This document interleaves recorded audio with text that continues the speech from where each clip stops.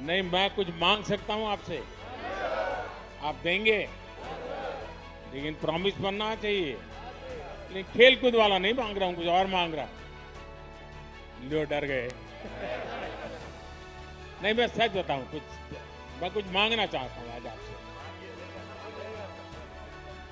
देखिए, ये 15 अगस्त कल आप लोग थे। देश आपको कितना प्यार करता है। देश आपको कितना सम्मान करता है आप सबने अनुभव किया। है इसका देश को बहुत लाभ हो सकता है। आप बहुत कुछ कंट्रीब्यूट कर सकते हैं। और जब आज़ादी के 75 साल हुए हैं तो मैं आपसे, क्योंकि आप खेलकूद के व्यक्ति हैं, और जो आपकी महारत है वो ही चीज़ आप करें, ये मेरी अपेक्षा है। 2023 15 अगस्त। करीब करीब दो साल आपके पास होंगे। क्या इस दो साल में एक एक खिलाड़ी, यानी ऐसा नहीं पूरी हॉकी की टीम, ऐसा नहीं, हॉकी का सब खिलाड़ी, क्या कम से कम आपको जहाँ पसंद हो 75 स्कूल्स में आप विज़िट कर सकते हैं। यानी एक एक प्लेयर स्कूल वाले बुलाएँ तो अच्छी बात है, वरना आप खुद स्कूल वालों को कहिए कि मैं आपके बच्चों के साथ एक घंटा मैं बिताना चाहता हूँ। या बिताना चाहता हूँ। वहाँ मेरी आपसे दो अपेक्षा है। देखिए, हमारा देश कुपोषण के विषय में माल न्यूट्रिशन के विषय में, अभी भी हम सर ऊँचा कर सके ऐसी स्थिति में नहीं। हमारे देश में ऐसा तो नहीं है कि कोई खाने का प्रबंध की कमी है।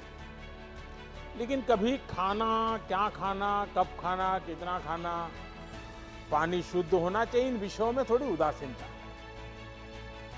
अगर एक खिलाड़ी जाकर के बच्चों को कहते हैं कि आपको एक खाना चाहिए, वरना तो मुझे तो मालूम है, मैं जिस परिवार और जिस माहौल से आया हूँ, बच्चों को कुछ भी को क्या कहेगा?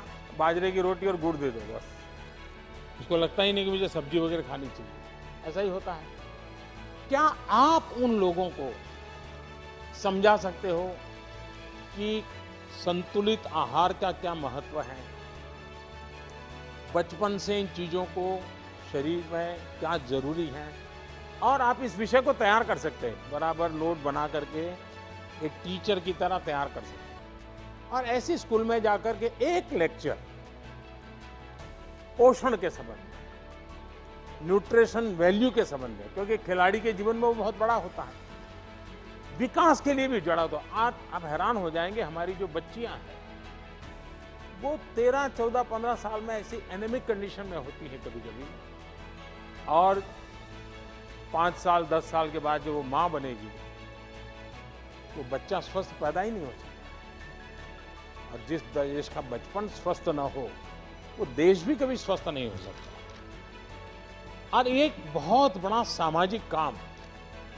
मैं आपको इसलिए कह रहा हूँ स्पोर्ट्स पर्सन जब कहता है तो इस विषय में वो विश्वास करता है हाँ यार, देखिए, यहाँ तक पहुँचा तो खाने में उसने नियमों का पालन किया। तो मैं आपसे एक अपेक्षा करता हूँ कि आप एक तो खुद कॉलेज के बच्चों से मिले तो क्या बोलना? स्कूल के बच्चों से मिले तो क्या मिले, बताना। प्राइमरी बच्चों से मिले। ऐसे तीन चार विषय तैयार कर करके ऑनलाइन सब अवेलेबल होता है। मैं भी आपको नोट भेज दे, डिपार्टमेंट ऐसी व्यवस्था करूँगा। लेकिन आप एक लेक्चर तैयार कीजिए और उनको समझाइए। और मैं समझता हूँ कि एक बहुत बड़ी सेवा होगी। दूसरा, आप किसी भी खेल के खिलाड़ी हैं। हो सकता है उस स्कूल में वो खेल नहीं होगा। लेकिन क्या आप 10 मिनट 15 मिनट मैदान में, उस स्कूल के बच्चों के साथ कोई भी खेल खेलेंगे क्या? आप कल्पना नहीं कर सकते उनके जीवन में कितना बड़ा प्रेरक होगा। चाहे वह कबड्डी खेल लीजिए खो खो खेल लीजिए, अगर वॉलीबॉल चलता है, वॉलीबॉल खेलिए, दस मिनट उनके साथ खेलिए। वो बच्चे जीवन भर सोचेंगे कि ओलंपिक में जो खेल करके आए थे, उनके साथ मुझे खेलने का मौका मिला वही बड़ा मोटिवेशन होता है। तो मैं आपसे ये दो चीज़ें माँगता हूँ। देंगे आप लोग? पक्का देंगे? लेकिन आप मुझे फ़ोटो वहाँ की स्कूल की अपलोड करना। तो आप 75 स्कूल की आपकी फ़ोटो मैं देखूँगा, उसमें भाषण देता हुआ देखूँगा, भाषण का वीडियो भी दे सकते हैं, और खेल खेल रहे हैं बच्चों के साथ, वो भी मैं देखना चाहूँगा। तो करेंगे? चलिए बहुत बहुत धन्यवाद। और एक मेरा सुझाव है कि आपने टोक्यो में गए, कई खिलाड़ियों से बातचीत हुई होगी, वहाँ की व्यवस्थाएँ देखी होगी। भारत में इंफ्रास्ट्रक्चर में क्या इंप्रूवमेंट करना चाहिए? व्यवस्थाओं में क्या बदलाव करना चाहिए? हमारी प्रक्रियाओं में क्या बदलाव करना चाहिए? अगर आप कोई लिखित नोट मुझे भेजेंगे तो ऐसे नोट अगर आप मुझे भेजेंगे मैं पक्का मानता हूँ कि सरकार को ये निर्णय करने में बहुत मदद होगी। क्योंकि जब खिलाड़ी बताता है तो उसमें जमीनी हकीकतें होती हैं। और इसलिए करेक्शन की संभावना भी बहुत रहती है। तो आप इसको करें, यही मेरी शुभकामनाएँ। बहुत बहुत धन्यवाद।